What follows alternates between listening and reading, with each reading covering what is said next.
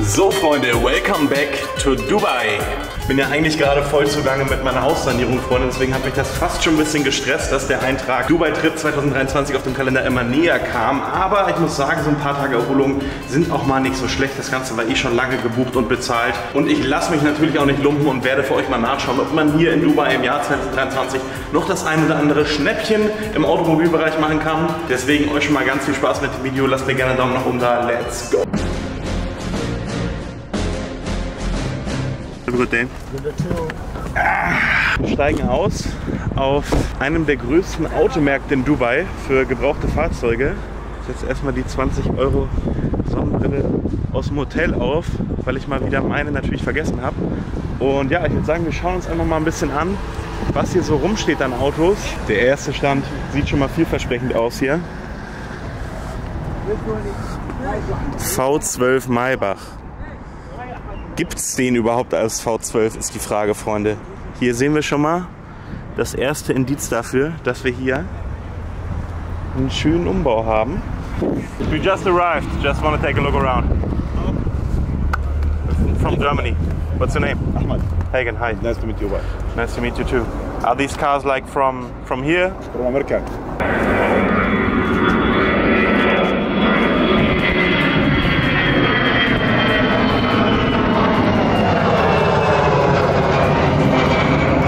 The door?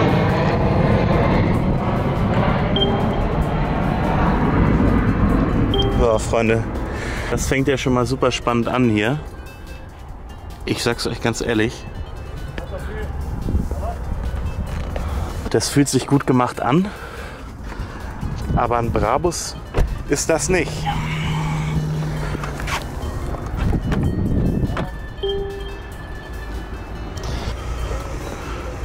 Ja, das ist alles schon wieder ein bisschen merkwürdig hier, Freunde. Ich habe ja die dunkelrote Lederausstattung in meiner S-Klasse zu Hause und mein Bauchgefühl sagt mir jetzt hier schon wieder, dass das auch wieder nicht original ist, weil der Farbton einfach ein bisschen zu hell ist.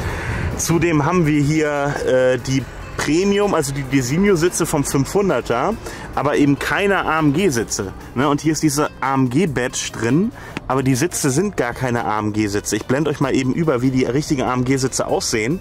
Also das ist hier so ein, ja, von der, von der Form her ein Designo Sitz vom 500er, aber halt mit diesem AMG-Ding und vom Farbton halt auch nicht ganz wie original. Also irgendwie sind die ersten Karren hier alle schon mal umgebastelt. Erst dieser Fake Maybach, dann der Fake Brabus und jetzt hier der 500er, der hat auch ein... Äh, ich bin der Meinung, oh, ich bin nicht so hundertprozentig drin im Thema, Freunde, aber ich bin der Meinung, das ist auch der Grill von einem 65 AMG. Also ganz wilde Nummer hier. Aber der Kollege sagt ja auch, das sind irgendwie alles Amerika-Importe.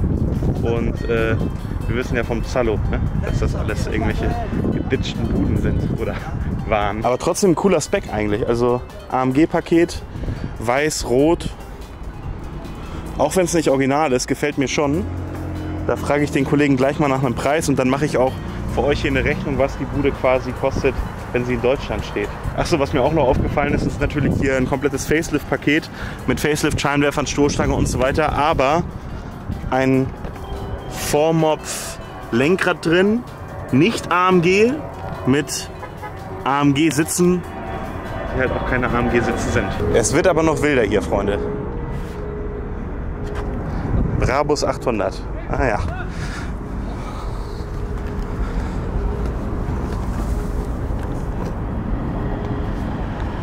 So Ahmad, tell me about the white one. What year is it? 16? Yes. So it's still pre-mod, so no facelift, but not- it's facelift, facelift aftermarket, Yes, right? yes, yes. Okay, are these uh, original parts? Original. The the bumpers and headlights and everything? Yes, yes. Okay, And this car have two years warranty. two years warranty. Yes. Okay. The face for the car I upgraded 2020. Why the face for 2016 not same this one? Yeah. I changed it, but I changed it original. Yeah. Original know? Yes. Mercedes parts. This is common copy one, not original 100%, but they coming 99%. Yeah. Original. And the seat inside before black, I make it red color. Yeah. It was recolored, right? Yes. I Okay. changed this one. I already it thought so. my garage. Your garage. Yes. Okay. Same So- original. I give you warranty about this one. Yeah.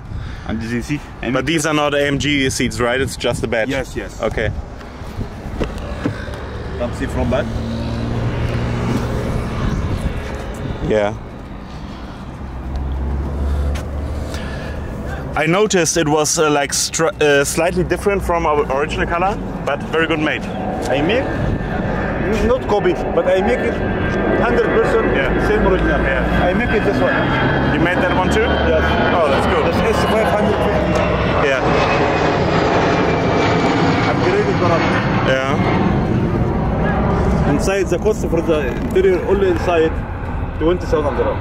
20,000 Only for the seat. Okay. But um, for example, if if I anyone brought the car to you, do you offer to to remodel the interior like this? If you need to change, I will change. No problem. Okay. Yes. How much will it be? Like 20,000 for the interior? Extra for the total amount for the car. Okay. Check how much is the car? They give me to 20,000 Yeah. more. Okay. I make same design from inside. Yeah. That's cool. Yes. What I Eli? is- take two years warranty. Insurance free, registration free. Yeah.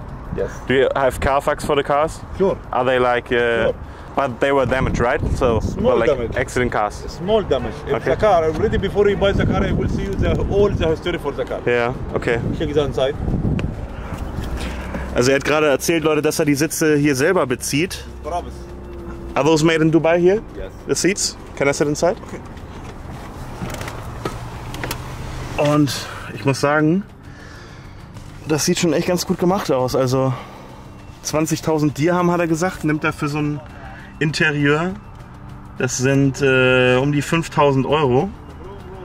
Könnt ihr euch mal ausdenken, was es in Deutschland kostet, so ein Interieur zu machen. Oder? Da liegst du locker, ja, halt von bis, ne? Aber das Vielfach auf jeden Fall. Und die ganzen Plastikteile sind halt so ein bisschen lackiert hier. Das sieht nicht ganz so geil aus. Aber der Rest ist schon echt hochwertig gemacht hier. What's the price for the white one? 165. Huh? 165. 165. Yes. Okay. 40.000. How many kilometers? 160,000 kilometers. 160. Ah, okay. 100? 100 only, sorry. 100,000 kilometers. Okay. As much as I want, right? If I want 60, you can do 60. no, I went down 60. Okay, okay, get it. Thank you very much. Have a good day. Der weiße S500 Baujahr 2016 mit 160, nein, 100.000 oder doch 60.000 Kilometern und Facelift-Umbau, 99% Original, soll 165.000 Dirham kosten. Umgerechnet sind das circa 42.000 Euro. Transport- und Hafenabwicklung liegen aktuell bei circa 3.000 Euro. Zoll bei 10% auf Einkaufspreis und Einfuhrumsatzsteuer bei 19%. Mit deutschen Scheinwerfern und Navigation käme so ein Wagen in Deutschland also auf weit über 60.000 Euro. Ein denkbar schlechter Deal. Kleine Werbung hier nochmal zwischendurch aus dem Hotelzimmer, Freunde. Und zwar habe ich gerade die Inventurliste bekommen von Pia aus Hamburg und habe äh, die zu viel gelieferten Black Friday Produkte jetzt nochmal in den Shop eingepflegt. Das heißt, wir haben nochmal 15 zusätzliche Produkte, die sofort lieferbar sind bei Value. Ihr wisst Bescheid, absolut hochwertigste Basic Streetwear Klamotten. Zum Schnäppchenpreis auf jeden Fall mal über den ersten Link in der Videobeschreibung vorbeischauen und nicht vergessen, wir veranstalten aktuell noch unser Gewinnspiel. Wenn du also da draußen auch auf der Suche nach einem außergewöhnlichen Auto bist, wir verlosen unter allen Bestellungen, die bis heute Abend eingehen, einen W211 E320 Komplettumbau von MKB, den habe ich selber vor ein, zwei Jahren aus Japan importiert. Das Auto ist komplett durchgeschraubt, hat anderthalb Jahre TÜV. Es wurden nur unter 100 Stück gebaut, in schwarz, dreiteilige Felgen, roter Innenraum und halt auch ein Auto, muss man dazu sagen, was man sich leisten kann im Unterhalt. Ne? Ist halt nur ein V6 und hat nicht so die ganzen anfälligen Fahrwerke, Elektronik-Sachen wie eine S-Klasse oder ein CL. 10% obendrauf gibt es mit dem Code MKB W211. Wie gesagt, die Sachen sind sofort lieferbar. In zwei Wochen spätestens sind die bei euch und ihr habt eine Chance, dieses wunderschöne Auto zu gewinnen. Ausgelost wird das Ganze live auf Instagram. Die Übergabe wird dann hier auf YouTube veröffentlicht, wie immer. So, vielen Dank für euren Support und jetzt weiter viel Spaß mit dem Video. Also der Platz ist hier ungefähr so groß wie fünf Fußballfelder. Ich zoome mal rein, aber wahrscheinlich werdet ihr nicht viel sehen. Das geht so ungefähr ein Kilometer die Straße lang und dann ist hier quasi Autohändler an Autohändler. Jeder hat hier so seinen kleinen Platz. Die Autos stehen fast alle draußen unter so Zelten und die äh, Jungs sitzen dann eben auf den Campingstühlen auf dem Platz, rauchen eine Shisha und verkaufen ihre Autos. Das ist schon, ist schon sehr geil hier.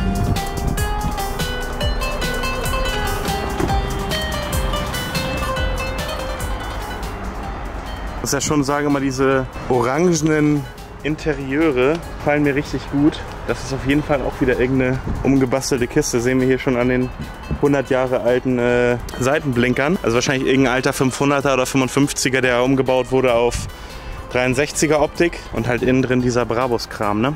Hello, how are you? I'm great, thank you. Ja, ihr seht schon, das ist äh, äh, G63 Seats, right? No, this is G50. Yeah, but the seats, um, newer. Yes. Yes. It's a GCC car or Japan or Uh, USA? GCC. Okay. How much kilometer? Uh, 300 something. Äh, G55 AMG Kompressor. G63 Optik außen. Weiß mit orangem Leder. Schon eine geile Sache. Aber halt 300.000 gerudert. Weiß ich nicht, Freunde. Weiß ich nicht. Das Geile ist halt, die Dinger haben echt keinen Rost, ne? Hier sehen wir schon, wurde irgendwas rein oder rausgeschweißt an der Auspuffanlage. Wahrscheinlich eher raus. Aber so rostmäßig sieht er echt super aus, ne? Das ist krass. Ein G55 AMG-Kompressor mit wenig Rost für 95.000 Dirham? Klingt erstmal nach einem Schnäppchen. Aber mit 300.000 Kilometern in der arabischen Wüste sind die Folgekosten schwer absehbar. Ein Deal für Zocker.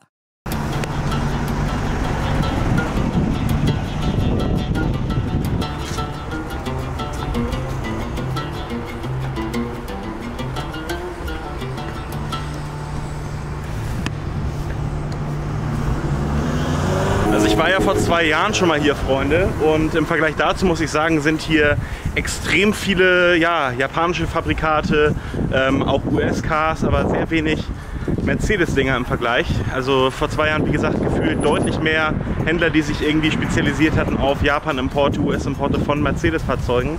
Aber jetzt werde ich hier mehr als entlohnt. Mehr als entlohnt, Freunde. Eine Sammlung von G-Klassen hier. Alles natürlich Brabus Fahrzeuge, Brabus 800.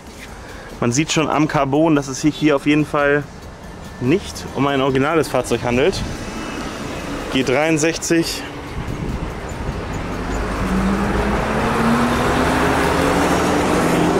Haben wir den ersten echten G63. Das habe ich äh, am Interieur gesehen. Das hier ist ja von der Optik her neuer, aber ich bin auch fast sicher, dass das eine umgebaute alte G-Klasse ist. Also die machen das mittlerweile auch so, dass die von dieser alten Optik hier auf diese Optik umbauen können. Die neuen haben ja so ein ganz durchgängiges Digitalcockpit, das hat er nicht. Der hat aber auch umgebaut auf das neuere Lenkrad. Also das ist hier eine ganz wilde Nummer. Na, der hat dieses ganz neue AMG-Lenkrad drin, diesen ganzen Brabus Interieurkram. Außenpaket auf 2020er Optik, aber halt eigentlich ja, wahrscheinlich irgendwie 2015er, 16er, 17er Modell. Das scheint der Kollege hier irgendwie sich rausgesucht zu haben als Nischenmarkt. Hier ist sogar irgendeine höher gelegte Karre. Brabus 700 Biturbo. Also die ziehen das Konzept auf jeden Fall durch hier. Ne? Sieht auch gar nicht so scheiße aus, muss ich sagen. Also sieht nicht schlecht gemacht aus. Hier sehen wir zum Beispiel natürlich, oi, oi, oi, an der Bremse allein schon, dass es hier irgendwie maximal ein alter 500er ist. Autos sind auch alle offen hier. Ich muss aber echt sagen, der eine hat ja schon vorhin gesagt, was sowas hier kostet ungefähr. Dafür ist es wirklich nicht verkehrt gemacht. V8, also das ist ein 500er hier. Äh, Cockpit. Nee, warte mal. Das sieht irgendwie komisch aus hier gerade, weil das Lenkrad ist auf jeden Fall so 2000 2006 bis 2011 oder so. Oder 2007 bis 2011 wurden die gebaut. Aber das Tacho, das Tacho kommt mir gerade ganz komisch vor. Also abgesehen davon, dass du natürlich hier mit so einem, so einem Kram niemals durch den deutschen TÜV kommst, auf legalem Wege. Schreib mal bitte in die Kommentare, was das hier für ein Tacho ist. Weil das ist auf jeden Fall kein Tacho vom 2007er bis 2011er G-Modell. Das ist irgendwas ganz komisches.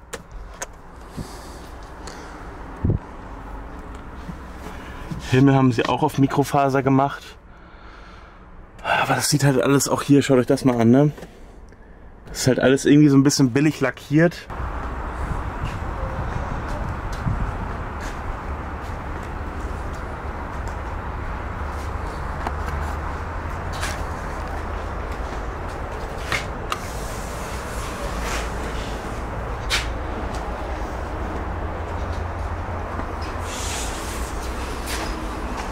Das ist irgendwie ganz wild, weil die alle so kleine Bremsen haben. Also das sind halt nicht mal G55 oder so, sondern das sind irgendwelche 500er. Wo man halt auch sieht, dass sie technisch einfach drauf geschissen haben und einfach hier irgend so einen Brabus-Kram reingeklatscht haben. Und das ist sogar noch ein ganz altes Modell hier, also maximal 2005 mit dem Lenkrad. Hier haben wir jetzt zwei G55 Kompressor, die nicht mit diesem Quatsch aufgewertet wurden. Das hier ist eine G63 Optik, also von der Stoßstange, Grill, Scheinwerfer und die Felgen. Und das hier ja, sind halt die alten G55 Felgen.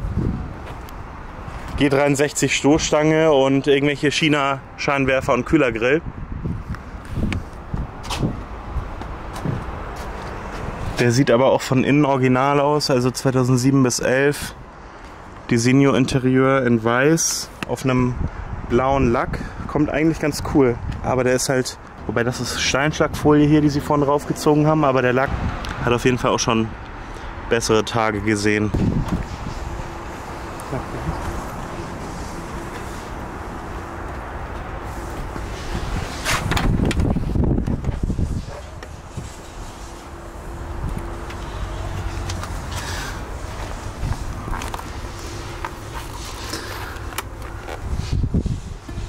Ja, Leute, so sieht ein 2011er Auto in Deutschland auf jeden Fall nicht aus, ne?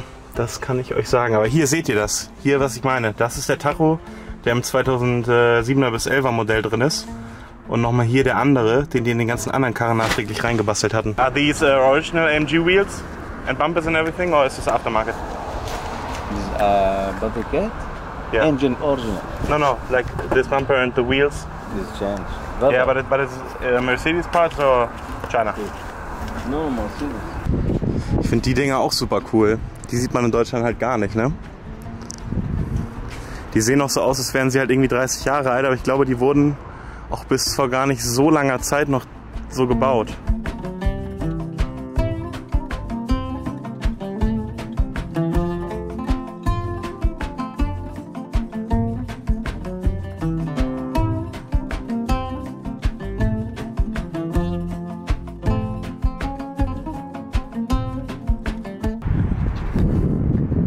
Der erste Fund von einem älteren Mercedes hier, 93er, mein Baujahr, aber leider nur ein V6.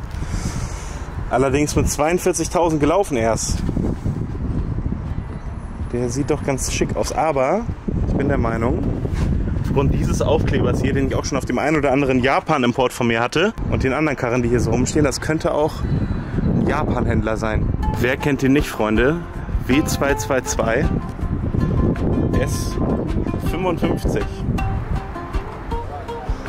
Ein roter Ghost mit rotem Leder. Ja. Und das ist jetzt der erste hier. Der erste Brabus, der mir legit aussieht. Das ist original Brabus, right? No? Body kit? Only body kit, but body kit original.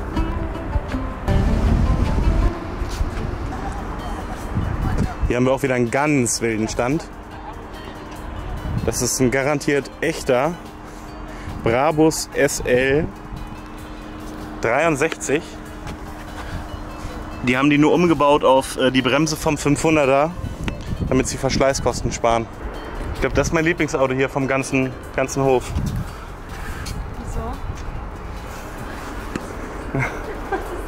Keine Ahnung. Kein Ferrari.